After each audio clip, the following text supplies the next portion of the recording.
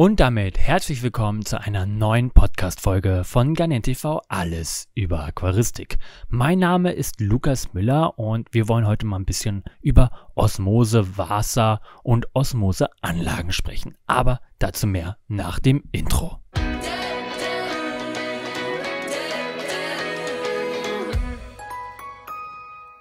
Ja, wie einige ja vielleicht schon mitbekommen haben, in meinem Schwimmbreeder-Raum oder auch Zuchtraum genannt, äh, der ja nicht hier ist, sondern gegenüber ähm, von unserem Showroom, ähm, nutze ich rein Osmosewasser. Bedeutet, in jedem Aquarium, was dort steht, ist Osmosewasser drin zur Zucht.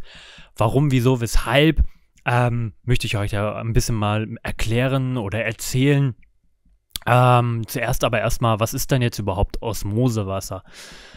Osmosewasser ist am Ende nichts anderes als entmineralisiertes Wasser. Bedeutet, äh, dort werden einfach Mineralien entzogen, ähm, ebenso halt auch Phosphate und teilweise Silikate. Bei mir werden teils, teil, tatsächlich äh, Silikate und Phosphate äh, ja komplett rausgezogen und am Ende habe ich einen Leitwert von 0. Heißt, wir haben keine Mineralstoffe mehr in dem Wasser gelöst. Am Ende haben wir sehr weiches ähm, Wasser, was wir natürlich so pur natürlich nicht verwenden können. Ähm, das muss dann dementsprechend dann wieder aufgesalzen werden. Und das wird mit Hilfe von Osmoseanlagen ja, hergestellt. Ne? Da gibt es äh, verschiedene Membrane, ähm, die sehr, sehr fein sind und wo das Wasser dann durchgepresst wird. Hier an meinem Standort habe ich insgesamt zwei ähm, Osmoseanlagen. Ähm, einmal halt drüben direkt äh, für die ja, große Anlage und natürlich auch hier, weil hier haben wir ja Meerwasseraquarium. Beim Meerwasseraquarium sollte man auf jeden Fall ähm, ja, Osmosewasser verwenden. Äh, ansonsten kriegt man da relativ große Probleme äh, mit Algen und äh, weiteren. Und jetzt sagte ich ja schon, man kann das nicht so verwenden. Warum nicht? Einfach weil das Wasser ist ja tot. Das ist so weich, ähm, das würde nicht so wirklich viele Tiere, ja, würden da drin nicht klarkommen. Ähm, und dementsprechend gibt es natürlich verschiedene Aufhärtesalze. Jetzt fragst du dich vielleicht, brauche ich denn jetzt auch Osmosewasser? Nein, also wir sind in der heutigen Zeit so weit, dass wir unsere Garnelen alle auch in Leitungswasser halten können.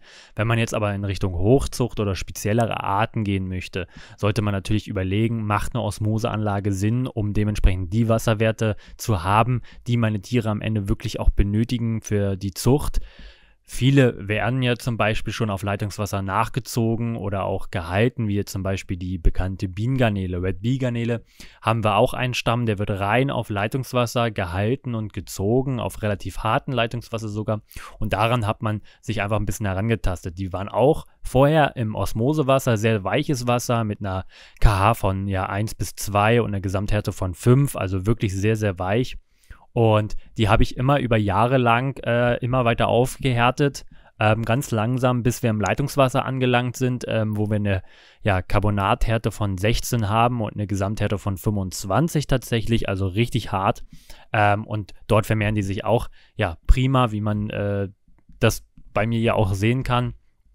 Und ähm, deswegen sind wir ja in der heutigen Zeit ist ja nicht mehr so kompliziert wie sag ich mal, vor zehn Jahren, wo man wirklich die Tiere auf, auf Osmosewasser ähm, halten musste, damit sie sich überhaupt wohlfühlen und auch vermehren. Heute gibt es auch viele Züchter, die wirklich alle seine Bienengarnelen ähm, auf ähm, Leitungswasser halten. Dementsprechend muss man einfach mal ein bisschen Rücksprache halten, wenn man äh, äh, ja, Garnelen bei jemandem privat vielleicht kauft.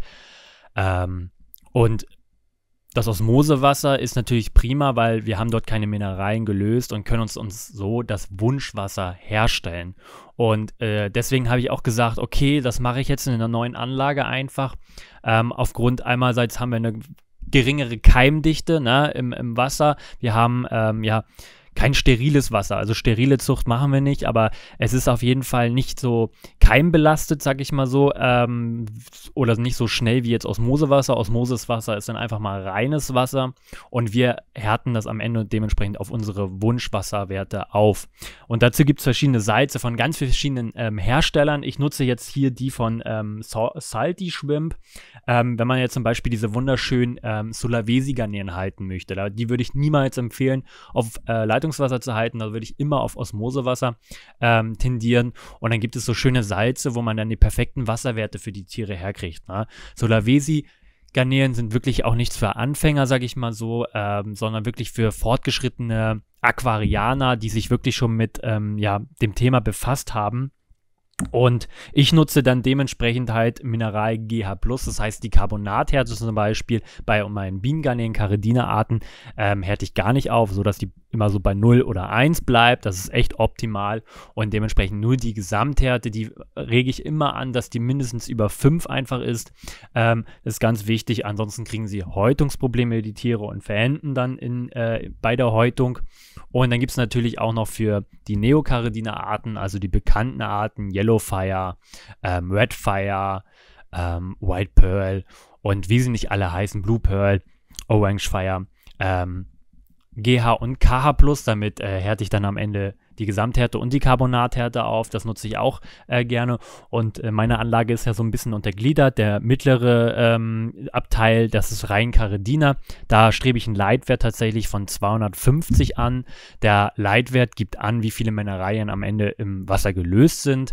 Ähm, und bei den Neocaridina-Arten, das sind dann die beiden äußeren Schranken, einmal die 120er äh, Länge Aquaren und die anderen 150er Länge, ähm, die haben ungefähr einen Leitwert von 450. Ähm, den Wert habe ich mir einfach gesetzt, weil ich die besten Erfahrungen damit gemacht habe, bei der Neocaridina-Zucht ähm, einfach mit 450 zu fahren und bei der Caridina-Zucht bei 250. Gibt aber auch hier wieder andere Erfahrungswerte von anderen Züchtern, die vielleicht mit nur mit einem Leitwert von 100 oder 350 bei Caridina besser gefahren gefahren sind. Ich kann nur dazu geben, ich bin mit 250 und 450 super gefahren und äh, halte das dementsprechend auch weiterhin so ein.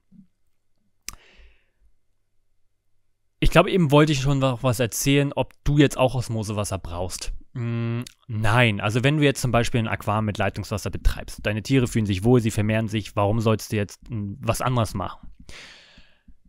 Wenn du jetzt zum Beispiel diese Solavesi-Garnelen ähm, dir anschaffen möchtest, dann würde es wiederum Sinn machen, dir eine Osmoseanlage anzuschaffen und ähm, dementsprechend das aufzusalzen. Das gleiche ist mit Bienengarnelen. Möchte ich jetzt professionell Bienengarnelen halten, ähm, würde ich auch zu einer Osmoseanlage einfach tendieren, um das dementsprechend zu machen. Ich zum Beispiel halte ja jetzt auch die Neocaridina oder züchte sie auf ähm, Osmosewasser tatsächlich, dann werden die ja bei uns in die Verkaufsanlage auf Leitungswasser gesetzt. Damit will ich einerseits mal zeigen, ähm, Viele Fragen sind, sind die auf Osmosewasser oder Leitungswasser äh, gehalten oder äh, gezogen? Ähm, wobei ich immer sage, das spielt in dem Sinne keine Rolle, solange die Wasserwerte passen. Ähm, weil Leitungswasser kann die gleichen äh, Wasserwerte haben wie eine Osmose, Osmosewasser mit einem Leitwert 450, kann ja aus dem Hahn bei irgendjemandem auch da das perfekte Wasser rauskommen. Äh, spielt das nicht so eine große Rolle. Unsere Tiere vermehren sich sowohl in der Verkaufsanlage im Leitungswasser wie Sau, als auch äh, eine Osmoseanlage, in der Zuchtanlage. Deswegen würde ich da immer gar nicht so krass unterscheiden. Bei Caredina-Arten würde ich da schon ein bisschen mehr unterscheiden, wobei ich da auch immer wieder festgestellt habe, es funktioniert auch ganz einfach mit Leitungswasser. Manchmal habe ich dann auch das Problem, dass sie sich nicht vermehren wollen und erst wenn sie wieder in, ins Osmosewasser, also ein weicheres und keim, keimarmes Wasser kommen, äh, geht die Vermehrung plötzlich wieder los. Die Erfahrung habe ich auch gesammelt, aber bei Neocaridina-Arten oder auch bei Amanogarnelen sollte man sich da nicht wirklich die Gedanken drüber machen. Wenn man sich eine Osmoseanlage anschaffen möchte, dann gibt es ganz, ganz, ganz viele auf dem Markt. Ich verlinke euch mal ähm, die beiden, die ich, äh, die ich selber habe und die ich nur empfehlen kann. Es macht Sinn, einfach ein bisschen tiefer in die Tasche zu greifen und was Vernünftiges zu kaufen, statt irgendwelche 70, 75 Euro Teile, ähm, die ein Abwasserverhältnis von 1 zu 4 haben. Das bedeutet, für ein Liter Osmosewasser verbrauche ich 4 Liter Wasser und am besten holt man sich wirklich eine äh, Osmoseanlage, die 1 zu 1 macht und das Schöne ist, man kann das Wasser ja auch trinken. Das ist richtig, richtig lecker. Und jetzt kommt der große Aufschrei. Was? Du kannst auch kein Osmosewasser trinken. Du kannst auch kein destilliertes Wasser trinken. Das haben ja unsere Eltern uns alle mal so richtig eingeflößt. Das ist giftig, man stirbt davon. Das ist natürlich völliger Quatsch. Das Wasser ist ultra lecker. Tee oder Kaffee müsst ihr einfach mal probieren richtig, richtig lecker. Und dementsprechend kann man sich, wenn man sich eh eine größere Anlage kauft ähm, und sowieso Mineralwasser gerne trinken möchte, ich zum Beispiel mache nichts anderes, aus dem Hahn trinken, beziehungsweise dann über die Osmoseanlage gefiltertes Wasser trinken, schmeckt richtig, richtig gut und kann ich nur empfehlen. Wie gesagt, verlinke ich euch unten nochmal in der Videobeschreibung, äh, die ich habe, beziehungsweise ein paar mehr noch, die ich noch weiterempfehlen kann. Und da wirklich mal drauf achten. Und ich sagte ja vorhin schon, dass ich ähm, auch Silikate und Phosphate rausfilter. Und das funktioniert noch mit einem Entmineralisierungssalz. Das ist meistens Mischbettharz, einfach noch mal hintergeschaltet. Das sind so Kartuschen, äh, die ich selber mit Mischbettharz fülle oder die gibt es auch schon bereits äh, vorgefüllt. Äh, da habe ich immer so zwei, drei tatsächlich Kartuschen nochmal äh, dranhängen und dort läuft zum Beispiel, wo das Osmosewasser rauskommt aus der Osmoseanlage, geht dann nochmal durch diese Kartuschen und ist dann wirklich bei einem Leitwert von null und ich habe wirklich gar nichts mehr drin und habe halt wirklich reinstes Wasser. Macht man im Normalfall eigentlich hauptsächlich nur äh, im Meerwasserbereich. Ich mache das Ganze aber auch im Süßwasserbereich, weil ich habe einfach ein bessere, ja, besseres Gefühl, aber auch ein besseres Resultat der Tiere, habe ich das Gefühl, bei der Zucht, ähm, weil ich einfach noch reineres Wasser nehme. Wie gesagt, wir machen hier keine stile, sterile Zucht oder so weiter. Ich meine, genug Keime sind da drin. Wir haben halt nur sehr, sehr viele Tiere manchmal so, wenn die sich vermehren. Ne, wenn jetzt so, keine Ahnung, 50, 60 Weibchen da werfen, dann haben wir ja da ein paar hundert bis tausend Jungtiere drin und die mögen natürlich frisches, sauberes Wasser und damit sind wir einfach am besten gefahren. Und sterile Zucht kann ich jetzt, sage ich mal so, auch nicht unterstützen, weil da wäre das Problem zum Beispiel, wenn ich jetzt Tiere abgebe, dass ähm, ja, die am Ende gar nicht ja so wirklich äh, neue Wasserwerte oder andere Keime kennen ich finde, es ist sehr, sehr wichtig, dass im Aquarium so ein bisschen, übers Jahr her immer mal ein bisschen verschiedene Wasserwerte sind. Ähm, verschiedene Keime werden sowieso immer mal reingekommen, weil man doch mal mit der Hand reingreift, weil doch mal irgendwo was am Futter oder whatever ist, äh, was die Tiere am Ende nicht krank macht oder sonst was, sondern einfach auch das Immunsystem äh, aufbaut.